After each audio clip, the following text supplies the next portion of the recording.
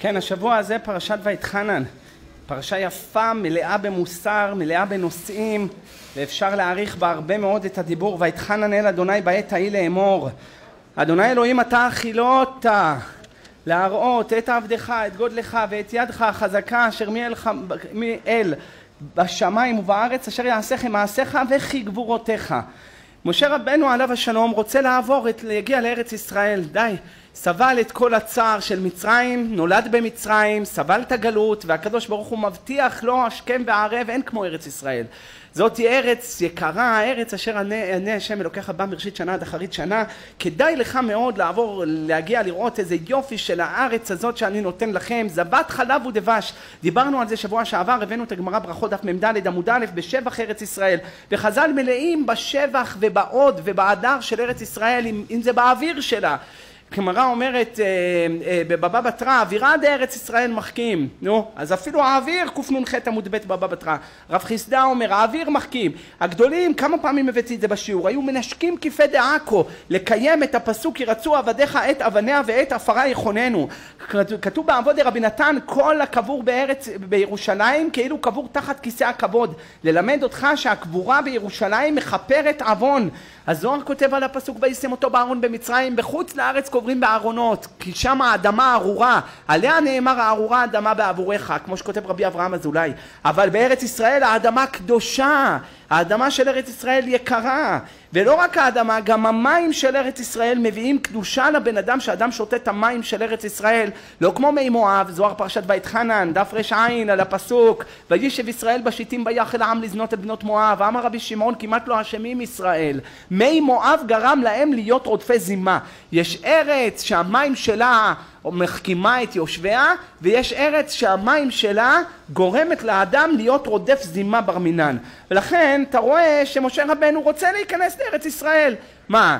כל מה שהוציא אותם מארץ מצרים והאותות והמופתים והניסיונות והתפילות המית את עצמו עליהם. הגמרא אומרת למה נקרא תורת משה? התורה הזאת נקראת תורת משה זכרו תורת משה עבדי אשר ציוויתי בחורב. ככה אומר הנביא מלאכי. זכרו את התורה כל התורה נקראת על משה רבנו. ולמה? כי המית את עצמו על התורה.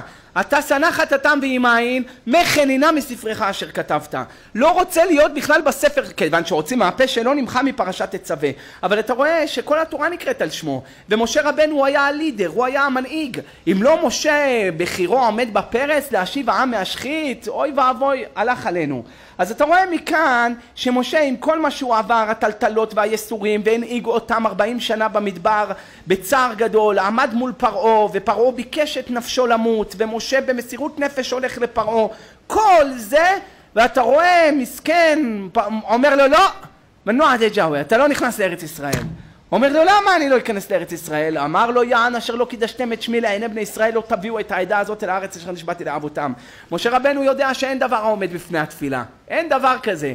אדם מתפלל, מי יודע, אולי יוכל למתק מידת הדין, אולי יוכל למתק את הגזרות שגזרו מעליו.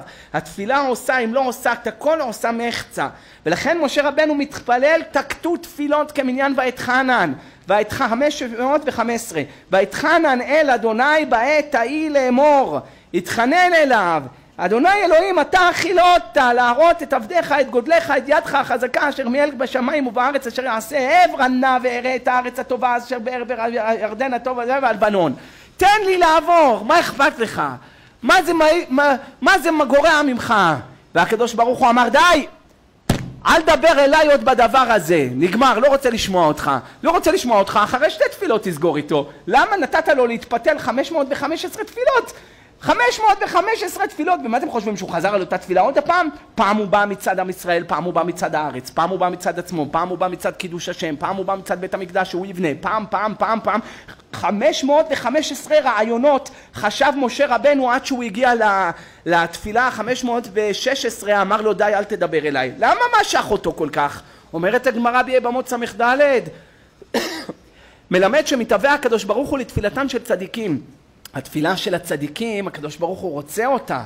למה? תפילה של הצדיקים ממתקת את מידת הדין. כשבן אדם מתפלל הרבה, הוא שואל למה הקדוש ברוך הוא לא עונה לי? כבר הלכתי לכותל ועוד הפעם חזרתי והלכתי לכותל, אני זוכר שהלכתי לשידוכים, הייתי בשידוכים, ורציתי למצוא את הבחורה הנכונה שמתאימה לי. אז הייתי הולך לכותל, בוכה, חוזר עוד הפעם, שם צדקה, הולך לרבי מזווילט שני וחמישי, אחרי זה הולך, אמר לי הרב בניהו, תלך לכנרת, תעבור את הכנרת עם סירה ותקרא פתאום הקטורת, כי אולי יעשו עליך עין. הלכתי, הבאתי סירה, עברתי את הכנרת עם פתאום הקטורת. אחר כך אמרו לי, תעשה ככה, תעשה את זה, תעשה את הסגולה הזאת. מה אני אגיד לכם, אני יכול לכתוב ספר סגולות. רק מהסגולות.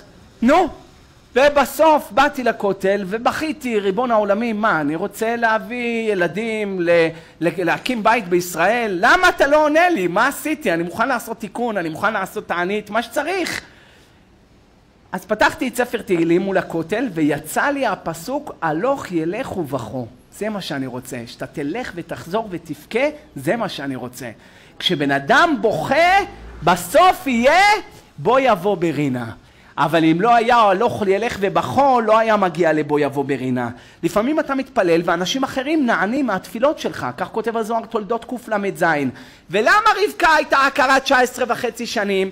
ולמה לא נתן לרבקה וליצחק ילדים לפני זה? הרי גם ככה הוא התחתן מבוגר. ויהי בן ארבע, יצחק בן ארבעים שנה בקחתו את רבקה בת בתואל הארמי מפדן ארם לו לאישה.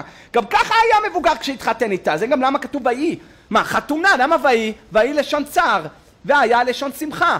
היה צריך להגיד והיה יצחק חתונה, מה, יש שמחה במשפחה. לא, ויהי יצחק בן ארבעים שנה בקחתו את רבקה בן בתואל הארמים פדן ארם. למה ויהי? למה לשון צער? שמחה התחתן, הבחור בן ארבעים כבר, התחתן. זה בדיוק הצער שהיה, שהתחתן שהוא בן ארבעים. זה הצער, ויהי שהתחתן מבוגר. טוב לגבר, הנה לא קראנו במגילת איכה, טוב לגבר כי יישא עול בנעוריו, אין עול אלא אישה, כמו שאומרת הגמרא בדף כ"ט במסכת קידושין, רחיים על צווארו ויעסוק בתורה, זה עול. התחתן כמה שיותר מהר יותר טוב, אבל לפעמים הוא לא מוצא את המיוחדת, הוא לא מוצא את האחת הנכונה, מותר לו להתעכב עד שימצא את האחת שמתאימה לו. וכאן נחלקו הפוסקים כמה מותר לו להתעכב, ולפעמים הוא עבר את הגיל. יש מחלוקת בפוסקים, אחרי הכי הכי שראיתי הכי מאוחר אמרו גיל 25. זה הכי מאוחר. אבל יש לפעמים, אדם עבר 25 והוא עדיין לא מוצא, אז מה, התחתן עם כל דבר שבא ליד? הרי אין דבר כזה, זה לא עובד ככה. צריך שיהיה מציאת חן, שיהיה שקר היופי, שיהיה מחנה משותף, שיהיה דיבור. הנה עכשיו ט"ו באב, בדיוק יום השידוכים, דף ל' עמוד ב' במסכת תענית. צריך אדם להתפלל על זה. אבל אם אדם מתפלל, אומר הזוהר קל"ז בזוהר תולדות, כיוון שרבקה הייתה מתפללת שיהיו לה ילדים, ויצחק התפלל לנוכח רבקה איש תוקיע היא. היא והוא היו מתפללים 19 וחצי שנה, כותב הזוהר שמה בזוהר תולדות, כל העקרות והעקרים היו נפקדים בזכות התפילות של יצחק ורבקה. ולכן אם אתה מתפלל על שידוכים ואתה לא מוצא, כל אלה שהם צריכים שידוכים, הם מוצאים את השידוכים שלכם, שלהם בזכות התפילות שלך. אתה מתפלל על פרנסה ואתה לא מקבל, תגיע לשמיים, פתאום אתה רואה, עשית את השידוך הזה, עשית את השידוך הזה, עשית... לא יודע מאיפה יצא שאם אתה עושה שלוש שידוכים אין לך גיהינם. זה כלן פאדי, זה שטויות. לא יודע מאיפה המציאו את זה. יש אחד ששלוש שידוכים עשה ושלושתם התגרשו. אז מה, זה, זה גיהינם, יורש גיהינם? מה, מאיפה הביאו את האגדה הזאת? אני לא יודע. אה, אנשים אומרים, לא משנה, אבל זה מצווה גדולה, ואהבת לרעך כמוך. אתה מכיר בחור, אתה מכיר בחורה, תשדך, מה יש בזה? כותב חוות יאיר סימן קפ"ה, רבי יאיר חיים היה מהאחרונים, אבל היה תקיף כמו מהראשונים. כותב החוות יאיר, מי שישדך גוי עם גויה, יעני ערבי עובד אצלך באינסטלציה, קוראים אותו חאלד. ואתה מכיר איזה ערבייה שמנקה את הבית כנסת. אה, פעם היו מנקות, היום ערביות לא מנקות. היום מנקות, מנקה. נו, פאטמה. אתה אומר לפאטמה, יש את חאלד, את רוצה ללכת עם חאלד? ועושה שידוך, כותב החוות יאיר, מי שעשה שידוך עם גויים, לאו דווקא מוסלמים, גם נוצרים, גם כל, ה, כל הדתות שיש, יעשה שידוך, לא ינצל מזרע רע שיקדיח תבשילו. זה חמור ביותר. והוא כותב ככה, אומרים זקנים וזקנות מבני עמנו. לא יודע מאיפה המקור הזה, זקנים וזקנות, אבל הם אומרים שאסור לעשות, עד מתי אתה מרבה זרע של עמלק בעולם? מה פתאום אתה משדך בין גויים? אתה לך תשדך בין יהודים, ואם יש שידוך בין גויים, שב ואל תעשה עדיף, אין לך מה לשדך אותם. אבל יהודים זה ואהבת לרעך כמוך, תעשה חסד ולך תעזור לאחרים גם כן למצוא את השידוך שלהם. על זה אמר משה רבנו, קדוש ברוך הוא ישתבח שמו, מתאבל לתפילתן של צדיקים, לכן על ידי התפילות שלו נכנסו הם לארץ ישראל. הם לא היו ראויים להיכנס לארץ ישראל, אבל כיוון שהוא התפלל עליהם, נהיו הם ראויים ומתק מידת הדין ונכנסו לארץ ישראל. כשהוא הגיע נגמר המכסה, מידת הדין התבשמה, התמתקה, נשאר עוד אחד כדי לפרסם את מידת הדין על עצמו, אמר לו די, אל תוסף דבר אליי עוד בדבר הזה, מספיק. עד עכשיו עשית טוב עם התפילות, מעכשיו אני לא רוצה שאתה, שאתה תיכנס לארץ ישראל, תבנה את בית המקדש, ואם משה היה בונה את בית המקדש, הקדוש ברוך הוא היה כועס עלינו, היה שופך את חמתו עלינו ולא על עצים ואבנים, וחס ושלום לא היה נשאר מעם ישראל. ולכן אנחנו לא מבינים את עילת העילות וסיבת הסיבות ואת כל החשבונות של קודשא בריחו, בוודאי שהוא עושה את הכל לטובה, והוא נתן למשה רבנו לראות את ארץ ישראל. אתה אומר אעברה נא ואראה אומר לו הקדוש ברוך הוא בשביל מה? בשביל מה? מה אתה רוצה לראות את הארץ? תעמוד מאיפה שאתה אני אראה לך את הארץ. אתה לא צריך לעבור את הירדן לראות את הארץ. עמוד! איך אומר לו? עלי ראש הפסגה עושה עיניך ימה וצפונה ותימנה ומזרחה וראה בעיניך כי לא תעבור את הירדן הזה אתה אומר אעברה נא ואראה את ההר אני אראה לך שבעיניים שלך אתה תראה, אתה רוצה לראות נותן לך, אבל אתה לא תיכנס לבפנים. ואני לא מבין את זה, מה עושה לו בדווקא הקדוש ברוך הוא. בן אדם עכשיו עשה תשעה באב, צום קשה מאוד, רעב, מה, מבשלים לו מול הפנים, הנה, הנה, תריח, תריח את השניצל, תריח את הפלאו בג'יג', תריח את הגושגושה, תריח, לא תקבל. מה? למה הוא אומר לו, אה, עלה ראש הפסגה, שנה עיניך וראה בעיניך, כי לא תעבור את הארנה, אז למה אתה מראה לו? למה אתה מראה לו? שהוא יתבאס? קודם כל, הוא מראה לו כי הוא ביקש. אמר אעברה נא ואראה. אז משה בעצמו רצה לראות את הארץ. ודבר שני, כיוון שכתוב בפסוק, בפרשת שלח לך, שהשם קילל אולם חי אני, כל מנעצי לא יראוה, אם יראוה את הארץ אשר נשבעתי לאבותם, וכל מנעצי לא יראוה. מי שנייץ אותי לא יראה את ארץ ישראל. אז אם משה לא יראה את הארץ, אז גם משה בכלל הקללה שכל מנעצי לא יראוה. וכדי שמשה לא יהיה בכלל הקללה, אמר לו עלה ראש הפסגה וראה. אתה כן יכול לראות. הם מנעצי לא יראוה. עכשיו מה אתם חושבים? הוא עלה, הסתכל ככה על ראש הפסגה, ואומר לו הקדוש ברוך הוא ברוח הקודש, אתה רואה שמה זו עיר התמרים, אתה רואה שמה זאת ירושלים, אתה רואה שמה זה החרמון, אתה רואה זה הבניאס, לא היה ככה, מה, זה אולי בסרט של וולט דיסני הראו את זה שהוא עלה ל, ל, לראש הפסגה והוא מסתכל מרחוק באופק, לא היה ככה. אלא הקדוש ברוך הוא הקריב לו את הכל. בנבואה משה נכנס לארץ ישראל. הוא התהלך בין העצי תמר שביריחו. הוא התהלך בממילה.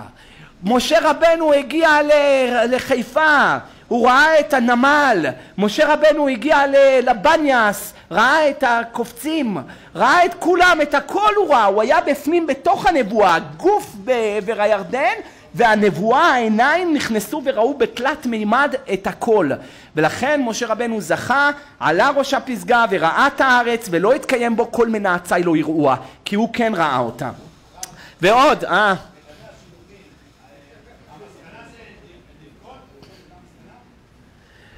אם המסקנה בשידוכים זה לבכות, הוא בוכה גם אחרי השידוכים, אז מה, מה העניין?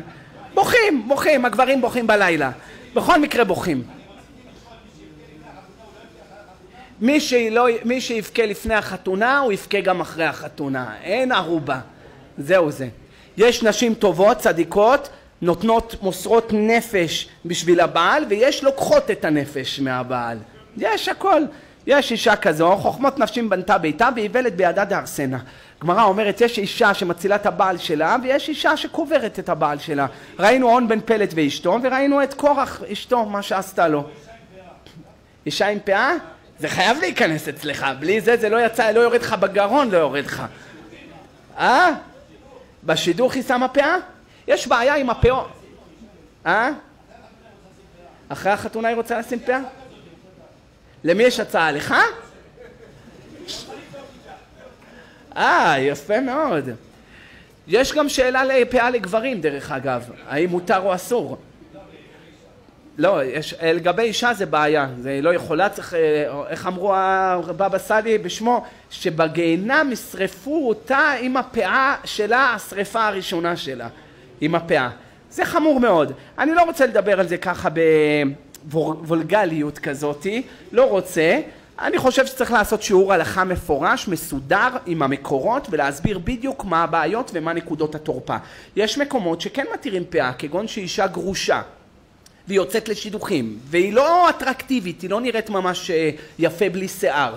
אז הרב עובדיה מתיר לאישה שהיא גרושה והיא צריכה ללכת לצאת לשידוכים לשים פאה במהלך השידוכים באופן שאחרי החתונה היא זורקת את הפאה אבל זה נראה לי היתר קשה ביותר, אני אגיד לך למה, אחרי שהתרגלה לפאה, מי תזרוק אותה? מי תזרוק אותה? זה קשה, אבל uh, ההיתר הוא היתר, מה שהיא תחליט לעשות זה בעיה שלה. חמור מאוד, בקיצור, יש בזה הרבה בעיות, הרבה בעיות. כד... מה לעשות?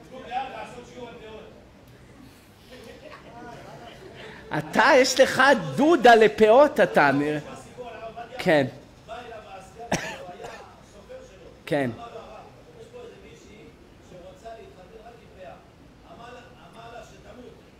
אה. לא מאמין לזה. טוב, נו.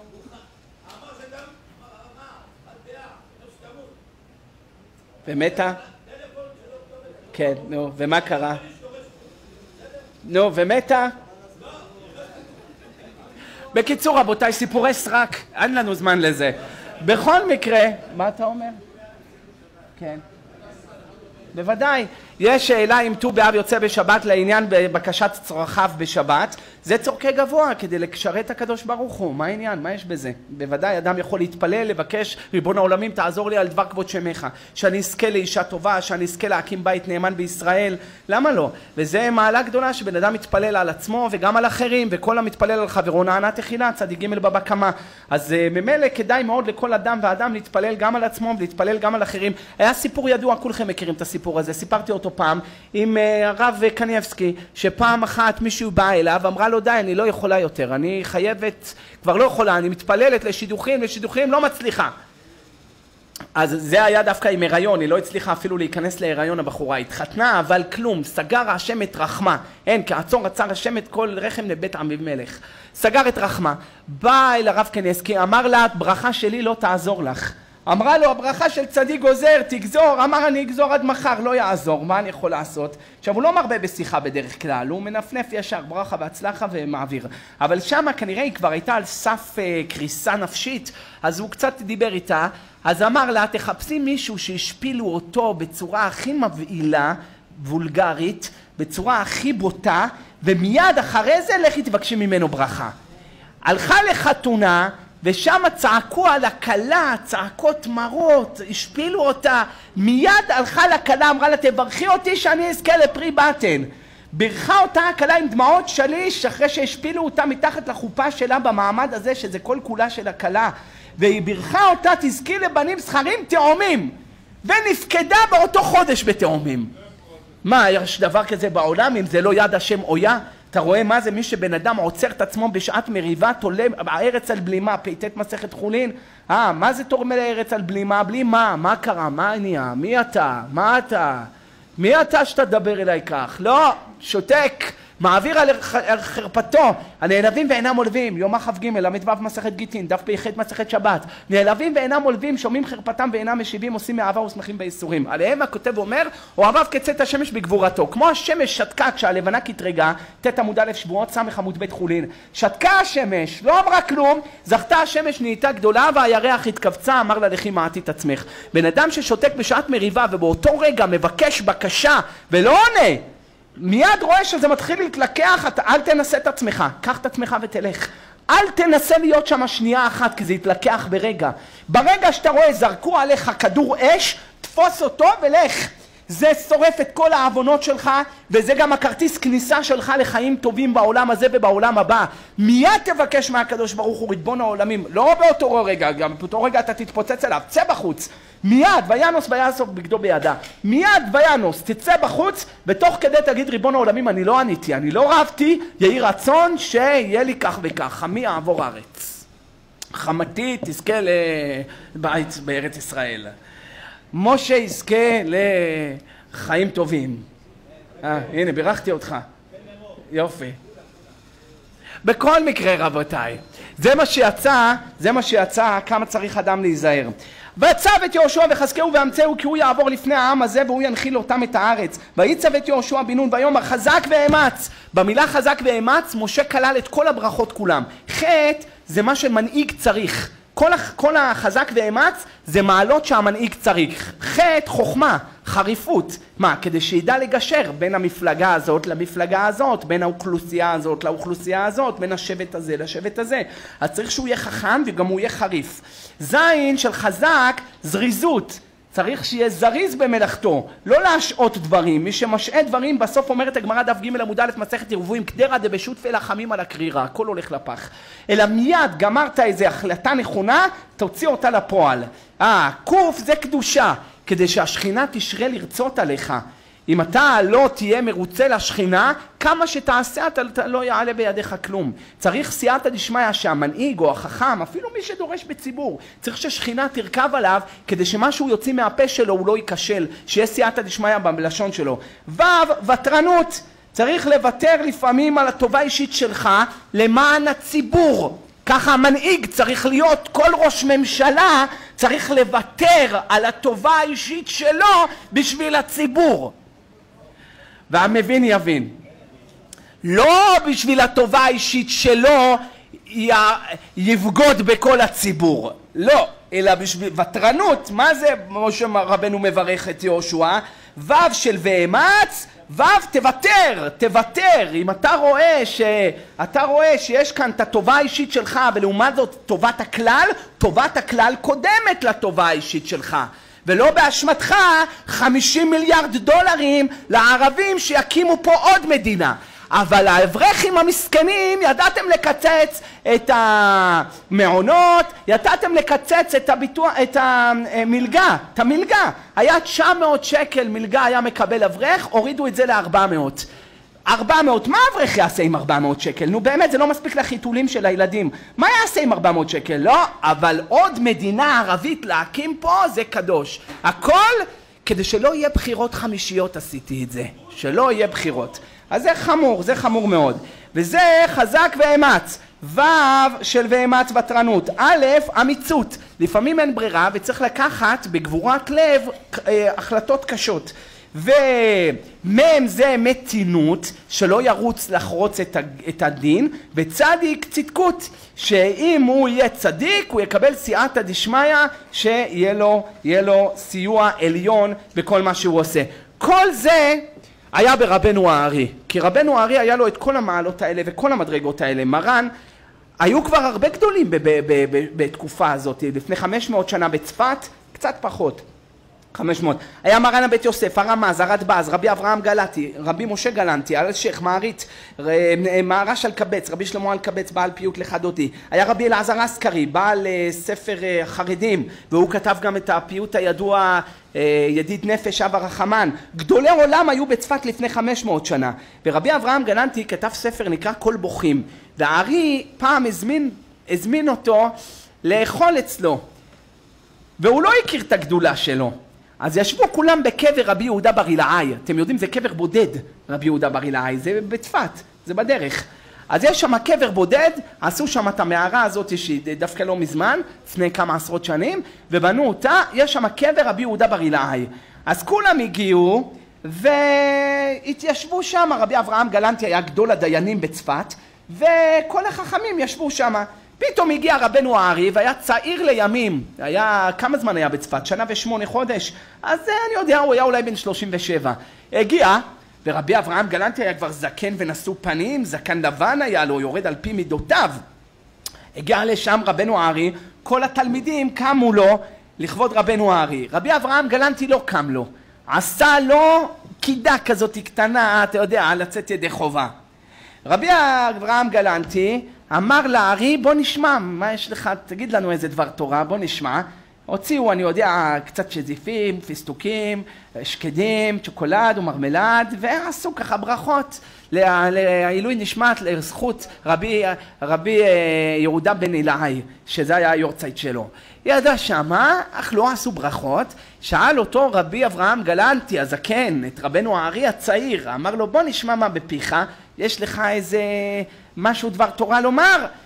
ואז רבנו הארי נתן דרשה על הזוהר, תפס איזה קטע מהזוהר, קרא אותו שתי וערב. למה כתוב ככה, ולמה אתה חזה, ולמה בגין זה. אתם יודעים, המרוקאים מאוד אהבו את בגין. מאוד אהבו, זה המרוקאים תמכו בבגין הרבה. למה כל כך אהבו את בגין? כי המרוקאים היו קוראים, גורסים הרבה זוהר, ובזוהר כל הזמן כתוב בגין דה, בגין דה, בגין דה. אז מאוד אהבו המרוקאים את בגין, אמרו הוא קדוש כמו הזוהר, בגין דה, בגין דה. טוב, בכל מקרה, בכל מקרה, משה היה לך את הפינה שלך היום בשיעור, נגמר הקרדיט שלך, זהו, נגמר. עכשיו, ישב שם רבי אבר... אברהם גלנטי, משתומם, אומר מה זה? נותן דרשה ככה בזוהר בעל פה, את כל הדף של הזוהר קורא בעל פה ומקשה עליו, ושתק. גמר הארי את הדרשה, והרבי אברהם גלנטי לא אמר מילה. בדרך כלל המבוגרים קשה להחמיא לצעירים. זה תאמינו לי מקרוב אני יודע. קשה להחמיא לצעירים, אבל הוא לא אמר כלום. שאל אותו רבנו הארי, נו, רבנו, נעם לך הדרוש הזה שהבאתי והחידושים מהזוהר? אז רבי אברהם גלנטי ככה עשה חצי טובה, אמר לו, תשמע, מלא קושיות מה שאמרת, מלא קושיות. אומר לו, למה קושיות? אמר, אחד, כך וכך, שתיים, כך וכך. הלך, העמיד לו חמש עשרה קושיות בעל פה, תבינו איזה מוח היה להם. חמש עשרה קושיות בעל פה על מה שאמר לו רבנו הארי. הסתכל עליו רבנו הארי, חייך עליו, חייך לו, אמר לו, תשמע הרב, תחזור עוד הפעם על הדרוש הזה שאמרתי אותו, זה זוהר ויחיד, דף רשות עכשיו אחרי זה תחזור עוד הפעם על זוהר חדש בדף כ"ח ותחזור על זוהר נשוא דף מ"ז. לך לשלושתם ותראה איך כל החמש עשרה קושיות שלך נפתרות. רבי אברהם גלנט, רבי אברהם גלנטי שמע ככה, לא התרגש. אמר, אה, נפתרות. ליד התלמידים אולי נתן לי כל מיני דפים ככה, נראה מה הוא שווה. הלך לבית שלו, לא נרגע, פתח את הזוהר בגימל המקומות שהזכיר לו ארי, והשתומם, תפס את הראש שלו, אמר איזה דבר זה, זה לית דין בר איניש, זה מלאך, איך זכר להביא, להצליב מידע, לבוא, לקשר, לחרוז, לתרץ, מדהים, מיד עוד באותו הלילה קם רבי אברהם גלנטי, החליף את הפיג'מה שלו ושם בגדים של הדיין הגיע לבית של רבנו הארי בצפת, דפק לו על הדלת, אפתח אלבב, אפתח אלבב אל חכם, פתח את הדלת. פתח לו רבי, רבנו הארי את הדלת, נשכב רבי אברהם גלנטי לרגליו, אמר לו, מחילה רבנו, בהתחלה לא חשבתי אותך אפילו תלמיד שלי. אתה שראיתי גדולתך, הלוואי אתה תחשיב אותי תלמיד שלך. יהי רצון שתזכה תזכה לגדול בתורה, העבודה, נשבע לו, שאיני זז מכאן עד שתאמר לי מה תיקון נפשי. אתה נותן תיקונים לכל העולם, שמעתי שמעך וכל העולם נפח, נפל עליהם פחד יצחק, זה יצחק לוריה, ת, תגיד לי מה התיקון שלי. אמר לו רבנו הארי, התיקון שלך לאכול כל יום תרג... תרנגולת אחת שמנה וללמוד תורה. זה התיקון שלך. הלוואי עלינו, הלוואי עלינו. תרנגולת אחת שמנה כל יום. אמר לו רבנו הארי, תעניות וסיגופים אתה לא צריך, ואני נשבע שלא ראיתי בדור הזה אדם נקי מחטא כמוך. תבינו מי מדובר, איזה אנשים עצומים הם היו, איזה אנשים עצומים. זה אתה רואה את העוצמות שלו. אחר כך מה אמר? ואתם הדבקים באדוני אלוהיכם חיים כולכם היום. מלא פירושים יש על הפסוק הזה. אחד הפירושים הכי משופעים בביאורים, אתם הדבקים בהשם אלוקיכם. איך דבקים? איך אפשר להיות דבק בקדוש ברוך הוא? הרי הוא אש אוכלה. ככה שואלת הגמרא. תרץ את הגמרא בדף י"ד סוטה ובדף קל"ג שבת, תהיה כמוהו. מה הוא קובר מתים תקבור מתים, מה הוא, מה הוא מלביש ערומים תלביש ערומים, מה הוא מאכיל רעבים תאכיל רעבים, מה הוא חנון אתה חנון, מה הוא רחום אתה, אתה רחום. תנסה ללכת אחרי מידותיו של הבורא ברוך הוא, אחר השם אלוקיכם תלכו. ככה אתה נדבק בבורא ברוך הוא. ככה כתבו, כתבו שמה כל המפרשים, שאם לא אז ידקדקו איתך, עוון הקיבה יסובני, צריך אדם לדקדק על עצמו שלא ידקדקו איתו בשמיים. היה עליו השלום השמן ששון. שמן ששון היה אחד המפרשים הכי, כל מי שלומד בישיבה של קבלה, שמן ששון בשבילו זה כמו רש"י. זה אחד החשובים ביותר, המפרש הכי חשוב על, על, אה, על שער הכוונות. יש לו על עץ חיים, יש לו על שער הכוונות, יש לו פתח עיניים, על, על סידור הרשש, יש לו בלי סוף, שמן ששון, רבי ששון פסיאדו, היה מבוסניה, שם הוא הגיע לארץ ישראל, היה ראש ישיבה כאן בישיבת אה, שלום, אה, נהר שלום, שמה של, אה, בעיר העתיקה. היה שם ראש ישיבה גדול, עד היום, איך? בית אל, ישיבת בית אל, נכון.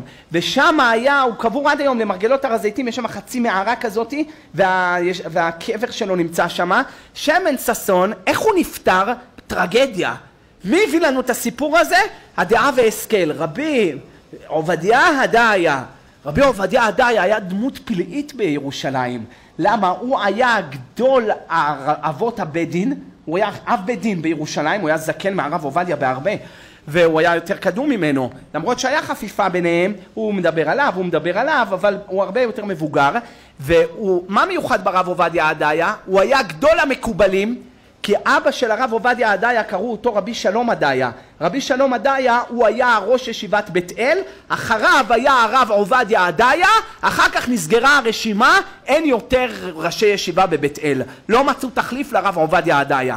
אז תראו איזה אדם גדול היה הרב עובדיה עדיה, שמצד אחד הוא היה ראש אבות בתי הדין.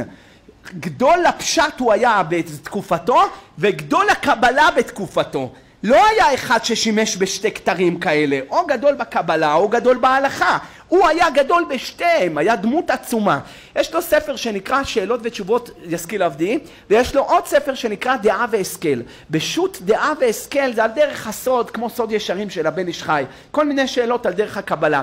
בחלק ז', סימן ט"ז, הוא כותב איך נפטר הרב ששון פסיאדו, ראש ישיבת בית אל, שהיה כמה דורות לפני אה, לפני, לפני הישכיל עבדי, הוא אומר אני ראיתי אותו ואני הכרתי אותו. הרב עובדיה עדיה ראה את השמן ששון, את רבי ששון פסיאדו.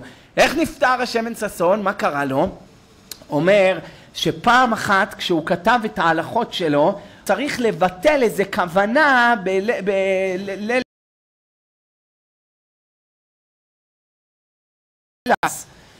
עכשיו הכוונה הזאת הייתה קשורה ללאה לאה נמצאת בעורף של זה, מהחזה, מהעורף, כן, ממקום הבינה עד החזה, מהחזה ומטה באחוריו נמצאת רחל, לא משנה, אז מי שהבין הבין. עכשיו היא נמצאת שמה, בגלל שהוא רצה לבטל את הברכה הזאת, כותב הרב ישכיל עבדי, אותה שנה גדל לו גידול בעורף. על זה שהוא רצה לבטל את הברכה הזאת של לאה שנמצאת בעורף של זה. וגדל לו גידול והוא ניסה להבין על מה חורי האף הגדול הזה והיה גדול המקובלים שתבינו בעל רוח הקודש משהו מדהים בסוף נפטר מהגידול הזה. אחרי שישים שנה רואה אותו הרב עובדיה עדיה בחלום. אם התחבושת עדיין עליו התחבושת עוד בגן עדן נמצאת עליו מאחורה. אומר לו חכם למה עדיין התחבושת נמצאת עליך?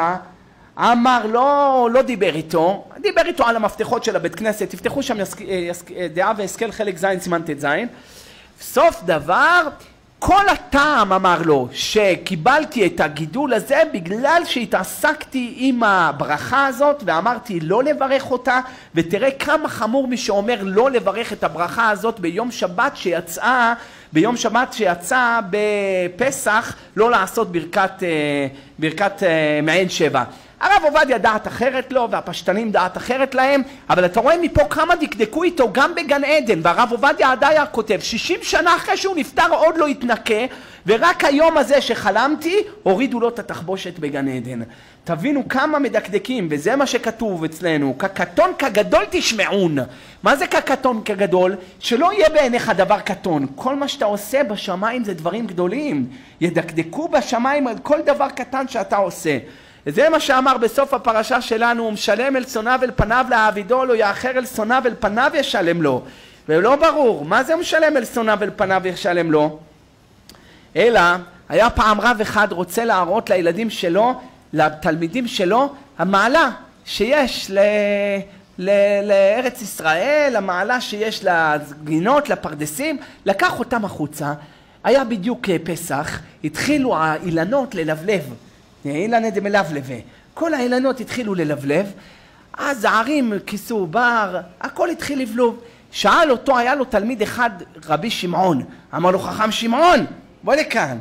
אמר לו, אתה בקיא בחוכמת השיעור. שיעור זה אחד שיודע לשער בעין שלו, אומר לך כמה קילו, אומר לך כמה גובה, אומר לך מה המרחק. היה בקיא בחוכמת השיעור. אמר לו, תגיד לי, מה גובה הדקל הזה?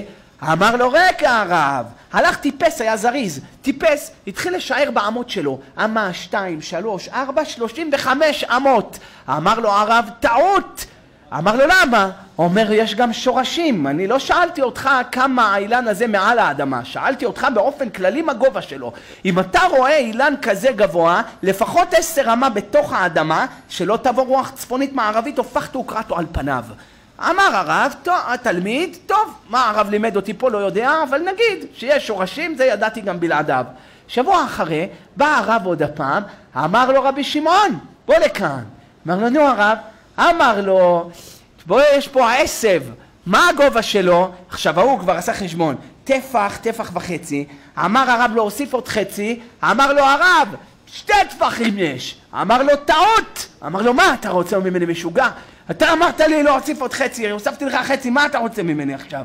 אומר לו תפתח, תעקור אותו תראה אם יש לו שורשים. עקר אותו, ראה שאין לו שום שורשים. חתיכה לבנה כזאת קטנה, וכלום, ממנה הוא יונק מהאדמה. אמר לו התלמיד, הרב, שיגעת אותי לגמרי. פה אמרת לי יש שורשים בעץ, פה אין שורשים בעשבים, מה אתה רוצה ללמד אותי בזה? אמר לו, רציתי ללמד אותך את הפסוק בפרוח רשעים כמו עשב. אם אתה רואה הרשעים צוחק, צוחקים, בונים כל מיני מפלגות ועניינים שלא ברוח התורה, והכל עשו בחאווה נגד הבוחרים שלהם, אה, כמו עשב. זה, אין לזה קיום. למה? אומר המדרש להישמדה מעדעד, תעקור אותו, אין לו קיום בעולם הבא, אין לו מציאות, זה רוח צפונית ממזרחית תבוא עוקרתו על פניו, אבל צדיק מי שהוא צדיק ואיתן בדעות שלו ודבוק בבורא ברוך הוא, כתמר יפרח. כמו העץ הזה תמר, לוקח לו זמן לפרוח, אבל יש פירות מתוקים, ויש לו גם חלק בעולם הבא, וכמו שורשים אנחנו לא רואים, גם עולם הבא אנחנו לא מסוגלים לראות. אדם יראה לעין רק מה שמעל האדמה, אבל מה שמי שיש לו שורשים כאן למעלה בשמיים ממעל אנחנו לא רואים. אז זה צדיק יש לו גם שורשים. שאל אותו התלמיד, אז למה הוא נמשל? צדיק התמר יפרח כארז. בשביל מה יש גם תמר גם ארז? אמר לו ארז מחליף גזעו. הגזע של הארז מתייבש, נופל. מתייבש עוד גזע, נופל. מחליף גזעו, אבל אין לו פירות. תמר לא מחליף גזעו, אבל כן יש לו פירות. בא לומר לך, שמא תגיד תלמיד חכם אין לו פירות?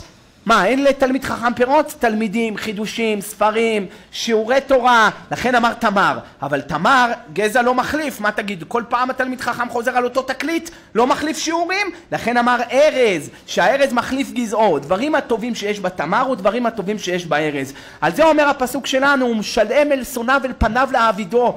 שלא תתרגשו משום דבר שהולך בעולם. תהיו דבקים בבורא ברוך הוא, הקדוש ברוך הוא יושיע אותנו ויעזור לנו על דבר כבוד שמו, ויגאל אותנו גאולת עולמים.